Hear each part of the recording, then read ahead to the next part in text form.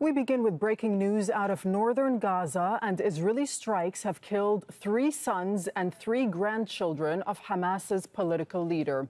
Several members of Ismail Haniyeh's family were traveling by vehicle in the El Shati camp when their car was hit. We'll now speak to Yosri Al who's a journalist. He's also joining us on the line from Gaza City. Yosri, uh, tell us what you know about the strike and what's happened. Yes, uh, good afternoon and uh, good evening. And uh, um, yeah, I mean, we saw a misery situation here in the Shafaq refugee camp while we were walking. We heard an explosion, and uh, we didn't know what happened because it was uh, close to an UNRWA school. But when we uh, ran and, and, and, escaped from the explosion, some of the our neighbors said that. Um, an Israeli drone targeted uh, a vehicle or, or a, a, car. So I went back and I saw uh, the, uh, the the car, and many bodies were uh, uh, many bodies killed, and someone was severely injured. And after that, they said that he is Muhammad, the son of Ismail Haniyeh, and he killed after that, and and uh, one of his, I think, uh, his children, and two of his brother's children, a girl and a boy. And this, uh, what happened is close to a shop market in the middle of the beach refugee camp. So, Yosri, uh, you can confirm then that Ismail Haniyeh's family, his children and grandchildren, were in that vehicle and it was targeted by the Israelis? Yeah, yes, sure. They uh, targeted them while they were visiting their families because today is the first day of the Eid. So uh, the Palestinians and Muslims are visiting each other. So uh, the children want to visit their, I think, uncles. So uh, the Israeli drone uh, targeted while they are visiting uh, uh, uh, the, the, family, and uh, and we knew them because uh, it's a, a, a, a, missile of a drone. It's not an F-16 um, um, missile. So we saw their faces, but unfortunately, their bodies were cut into pieces.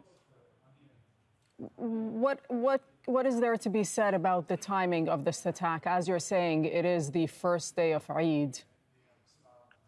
It seems that because of the Ismail Haniyeh, uh, leader of Hamas, and about the negotiation and the refusal of Hamas of the Israeli uh, negotiation or uh, the bargain about what's happening right now about the uh, the, the, the prisoners and and the kidnapped uh, Israelis. Uh, it seems that the Israeli want to send a message to Ismail Haniyeh and to the Hamas uh, and, and, and, and leader office that uh, the Israeli will target the whole families of the Hamas leaders in uh, North Gaza and also in, in, South Gaza. This seems right now because they are civilians and they didn't do anything. They are not militant group. They are not related to, even to Hamas. They are just sons of a leader of Hamas. And they were just uh, going by their vehicle to visit their families and their uncles and that's what happened here. Yosri, and I wonder if you can confirm whether or not, I mean, this is, this is not the first time that the family members of Hamas's leaders have been targeted. Yeah, uh, uh before that, they targeted his uh, cousins, but uh, they targeted his house because we live close to Ismail Haniyeh house, and we saw the, the destruction of his house because it was uh, destroyed, uh, the whole area, not only the, the, the, the building of Ismail Haniyeh house and, and also the other offices which is related to his house or to the Hamas movement. But what's uh, happening before, they didn't target his family, but this is the first time they target his son. Before that, they targeted his um, uh, cousins and, and, and uh, other nephews, maybe. But uh, it's the first time they targeted uh, Muhammad and, and Hazim and Amir. They were young, and uh, the oldest one of those uh, young men are 33 years old.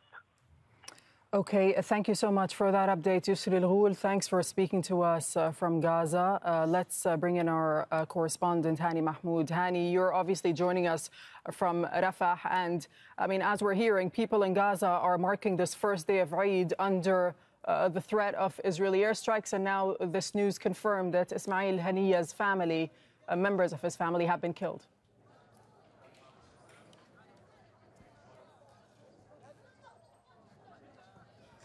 Yes, well, we, we were monitoring the situation since early hours of this morning, and of course, from uh, late hours of last night when the, we, we, witnessed a surge in the airstrikes across the Gaza Strip that started in the central area of Nusayrat, including in early hours of this afternoon, once again, a Nusayrat refugee camp that's a block two that was targeted relentlessly with massive airstrikes, and many people reported to Al Aqsa Hospital. At the same time, the Israeli military uh, was attacking eastern part of Gaza City, including the densely populated neighborhoods, Shijaiya, Zaytun neighborhood, by constant non-stop artillery shelling since early hours of this afternoon. And what we learned so far about what happened to the sons and the grandsons of Ismail Haniyeh, that's the political uh, bureau chief of Hamas in Gaza. They were in a car and on their way to uh, pay a visit for their relatives because today marks the first day of Eid, and this is the, the traditions that Palestinians here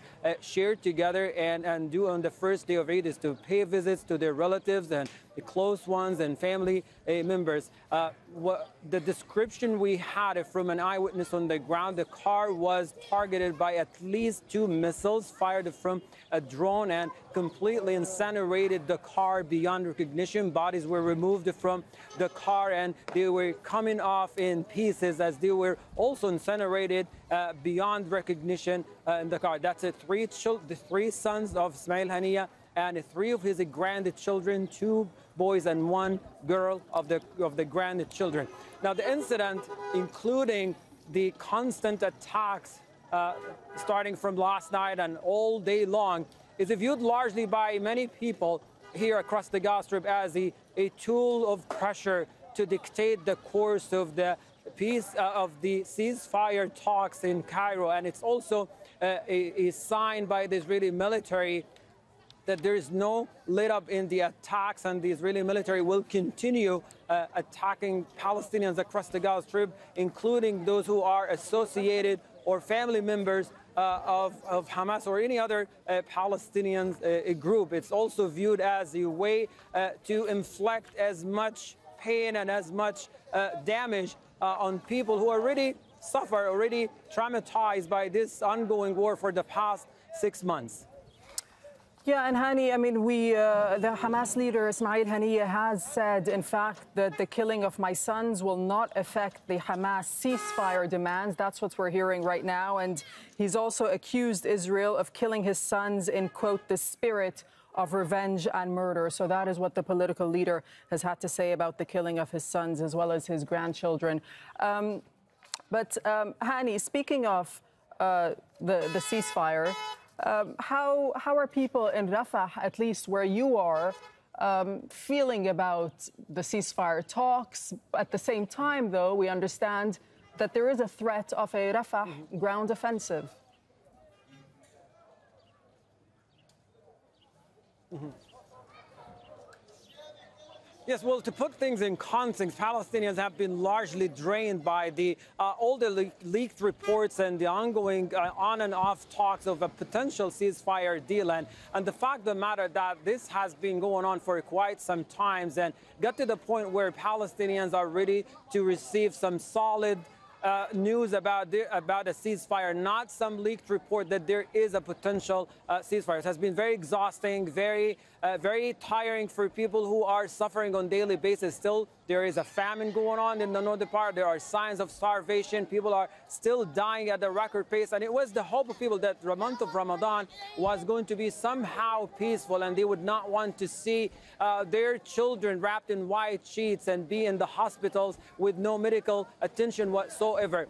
The current talks right now though they are somehow they are constructive, but it's still they haven't got to the point where where people can for sure feel there is a ceasefire coming up anytime soon. Particularly uh, the all the the rejection of, from the Israeli side on one of the major demands, which is the return of displaced uh, Palestinians here in, in, the, in overcrowded Rafah city to their homes. The Israeli military is still uh, rejecting this demand. And we know uh, Hamas and other Palestinian groups on the ground, they're making this as a priority because they want to see a relief of the ongoing uh, trauma and ongoing suffering and misery for the 1.5 million uh, displaced Palestinians in overcrowded southern part of the of the strip.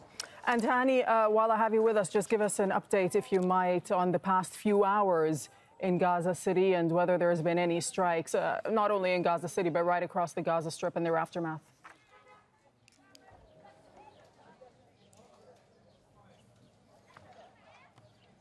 Yes, well, we were able to monitor this surge in the attacks from last night when just it's the night, um, just hours before uh, Eid day started, where the Israeli military uh, uh, in, in, a massive airstrike targeted a residential home in a Nusayrat refugee camp, killing at least 14 people, mostly women and its children. Uh, at the same time, they're ongoing, the constant shelling of, of eastern part of Khan Yunis, an area that has been repeatedly targeted. And, and based on what we heard from people who went back after the Israeli military pulled out from the area, uh, particularly Abisan, Zanna area, those are the eastern neighborhoods of Khan Yunis, have been destroyed beyond recognition. For a lot of people, the area was unknown for them, completely alien to what they used to know so far about the, the city. The eastern part of, of Gaza City also, including Shajai and other parts, were under heavy artillery shelling and, and the fact that there are uh, drones, those are attack drones in the area, just casting many fear and concern for people to go back to these to these areas, including the attacks within the past uh, few, if, if within the past hour and earlier in this uh, early hours of this afternoon. Okay, thank you. Hani, thank you so much. Hani Mahmoud reporting for us from Rafah in the Gaza Strip. Make sure to subscribe to our channel to get the latest news from Al Jazeera.